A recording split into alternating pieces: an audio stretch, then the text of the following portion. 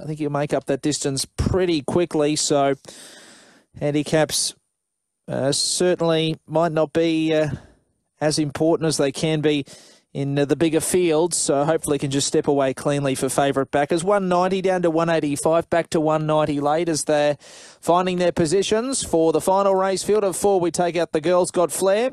Number three, we're set tapes release and they're off and away from towards the outside. Perseverance is going to find the front clearly as they work into that first turn. Uh, from in second spot, Wistful Lady. Glorious Finale is quickly making up the ground and Unspoken Love has made an early mistake, but it's back down and pacing now. But we've got a clear leader, Perseverance. And there was money for this. It's uh, seven into 460 and leads out by about uh, 14 metres now from Wistful Lady in second. Unspoken Love races third, and they were followed then by Glorious Finale. His last of all is Wistful Lady now goes into a gallop. So Perseverance in front and uh, might take some catching here. Leads out by about 10 or 15 metres now from Unspoken Love in second, and they were followed then by Glorious Finale, who's in third as they run by the post on the first occasion.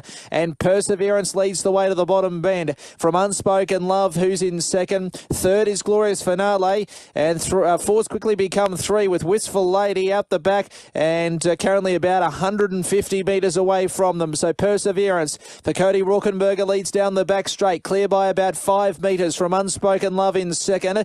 Uh, for Rod Barker, a similar gap then to Glorious Finale for Jackie Barker.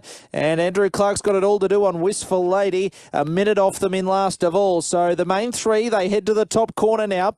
And in front is Perseverance, and Perseverance leads out by a couple couple of metres. They were followed then by Unspoken Love, is who is in uh, second spot. Third then was Glorious Finale, and still the big, big gap back to Wistful Lady. So they round the turn. They've got just over a circuit to go, and Perseverance, who's had plenty of market support, leads up by three metres. Unspoken Love, the second favourite, is trailing it, and Glorious Finale is third, about four metres away, and they'll start to up the ante shortly. Wistful Lady still about 100 metres behind them.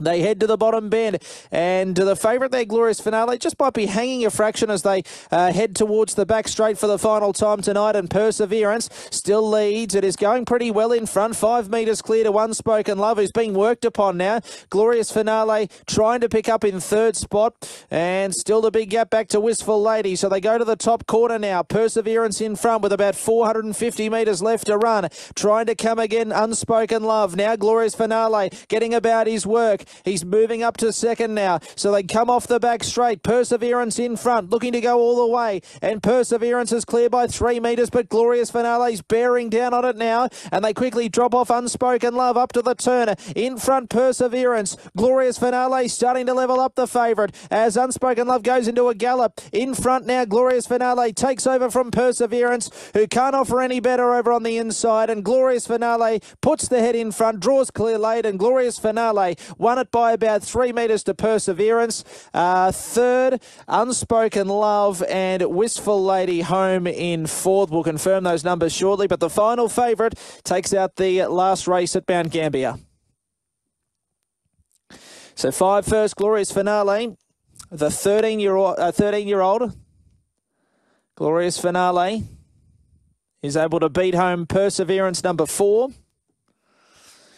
Glorious finale for Jackie and Jim Barker. Perseverance for Cody Raukenberger and Jonathan O'Connor. Third,